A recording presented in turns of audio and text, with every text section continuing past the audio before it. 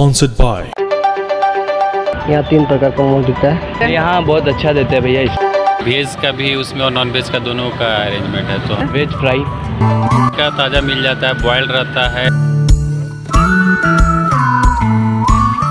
कहते हैं जो चीज़ लोगों को देर से पसंद आती है वो कुछ ज़्यादा ही पसंदीदा हो जाती है।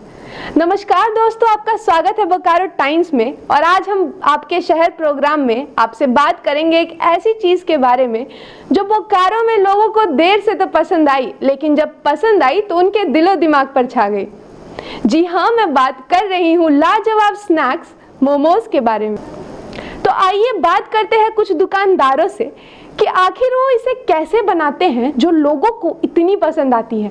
और जानेंगे कुछ लोगों से भी कि मोमो उन्हें क्यों पसंद है।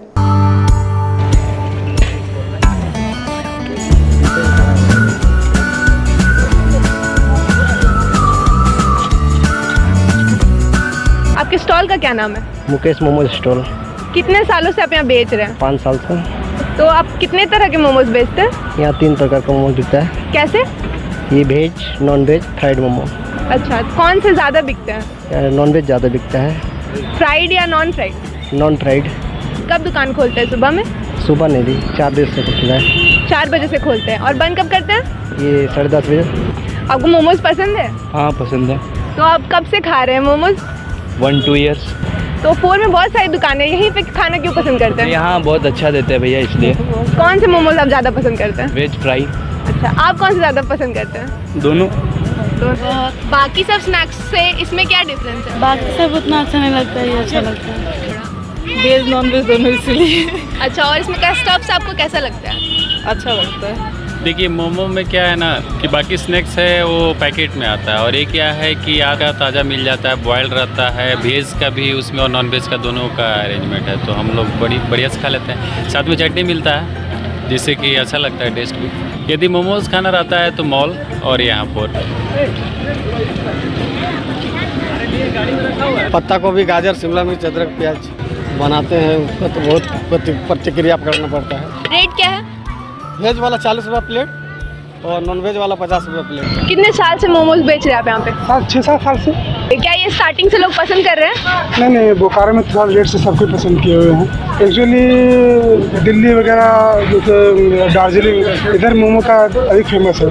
तो फिर अभी बोकारो में भी धीरे धीरे जो है आदमी इसको पसंद कर रहे हैं और खाते हैं। क्या क्या डालते हैं आप मोमोज में? तो वेज में दो तरह का मैं बनाता हूँ। वेज में पत्ता गाजर शिमला रहता है और नॉन वेज में चिकन रहता है। अच्छा और क्या उसके साथ देते हैं? मोमोज के साथ? मोमो का दो तरह की चटनी तीन तरह की चटनी है। एक रेड चटनी जो है टमाटर मिर्ची का बनता है और एक धनिया पत्ता का है और एक मैनीज है। तीन तरह की अच्छा तो ये बताइए हमें कि वो आप कैसे बनाते हैं रेड चटनी? तो टमाटर मिर्ची का बनता है वो। वो सबसे ज़्यादा कौन सी चटनी लोग पसंद करते हैं? एक्चुअली रेड वाला ही पसंद करते रेट क्या है मोमोज के? हैं हाँ, वही ट्वेंटी का हाफ़ प्लेट है वेज और ट्वेंटी फाइव का half non veg. Half plate मतलब कितने पीसेस? Five pieces.